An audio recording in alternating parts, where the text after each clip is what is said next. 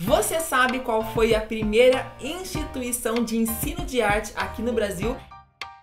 Do you? Vou te contar essa história.